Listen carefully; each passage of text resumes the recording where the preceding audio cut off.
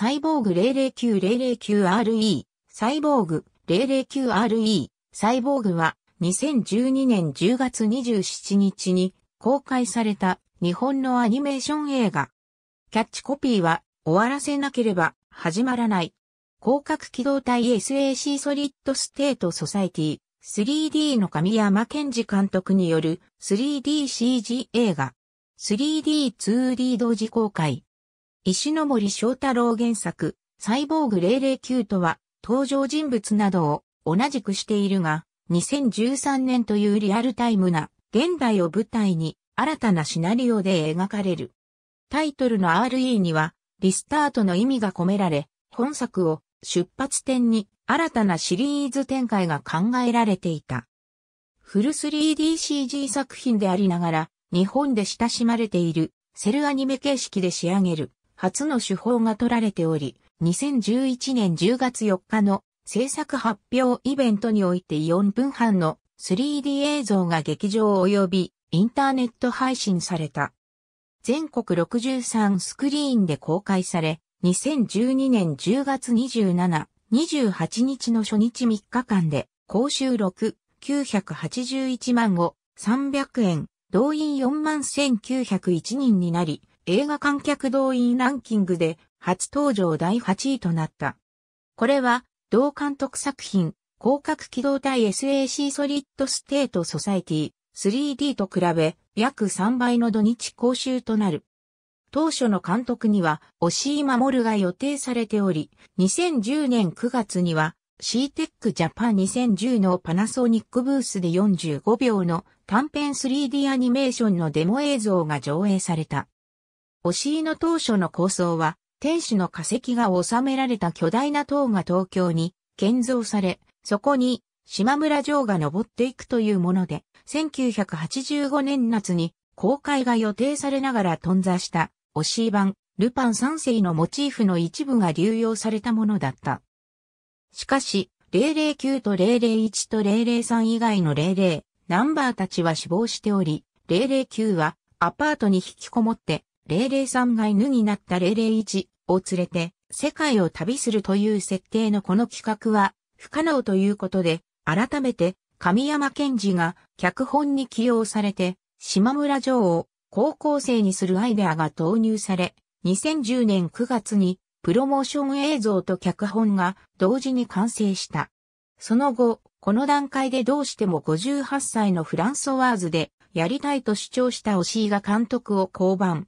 脚本を降りていた神山が監督に就任した。2011年12月8日、香港で行われたシネアジアにて、香港、台湾、韓国、シンガポール、マレーシアの5カ国をはじめアジアで同時公開されることが発表された。パナソニック社のテレビビエラとタイアップキャンペーンを実施。キャンペーン期間中に特定機種を購入し、諸々の手続きを行うことで、アクトビラの専用ページにて、映画公開中に、テレビで 3D 版の本作をネット配信形式で視聴することができる。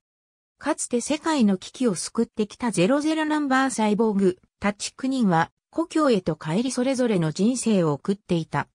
しかし、2013年の各国で超高層ビルへの爆破テロ事件が連鎖的に発生し、アイザック・ギルモア博士から招集がかかる。その頃、009こと島村城は、その記憶をリセットされ、東京で高校生として暮らしていた。テロの実行犯たちは、人類は一度やり直さなくてはならないという謎の声を聞いていた。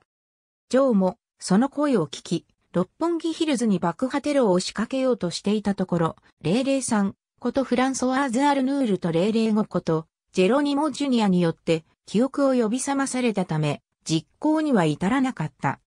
考古学者となった008ことピュンマは人類の起源を探っていたところ、天使の化石を発掘するが、その後に行方不明となる。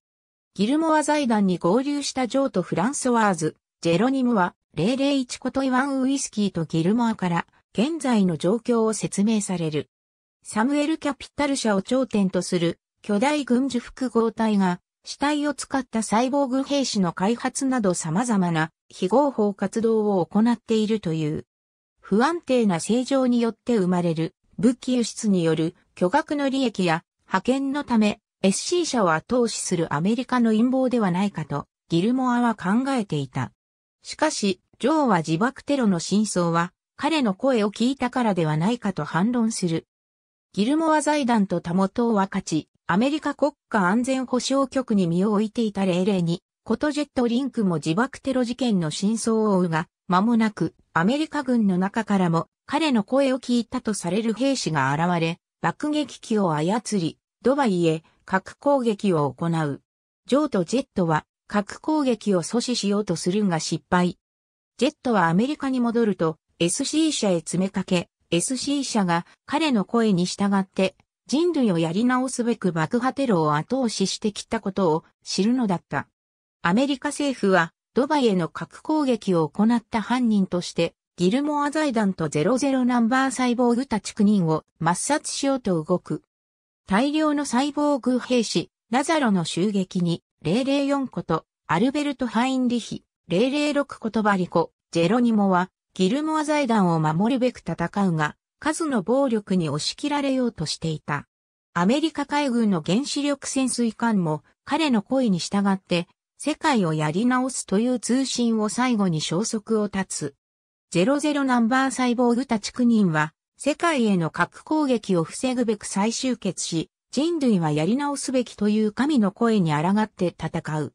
その他、パナソニックのテレビブランド、ビエラとのコラボレーションキャンペーンも実施。月刊ビッグガンガン2012年ボリューム06から2015年ボリューム10まで、麻生画等による漫画版が連載されていた。コミックスは、ビッグガンガンコミックスより、全6巻。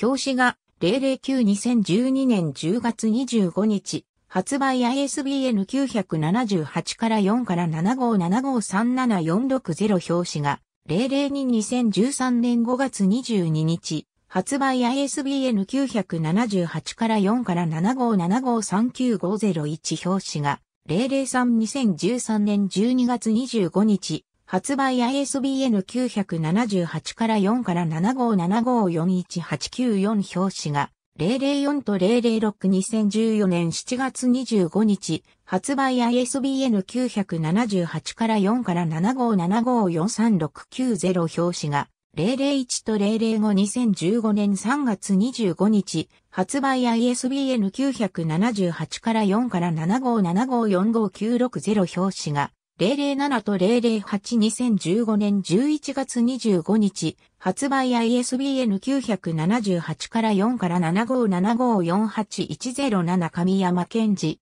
福島直弘教著によるノベライズが月刊ニュータイプに連載され、書き下ろし文と合わせて角川書店より単行本として発売されている。全一巻。2013年5月22日発売。発売、販売元はバップ。ありがとうございます。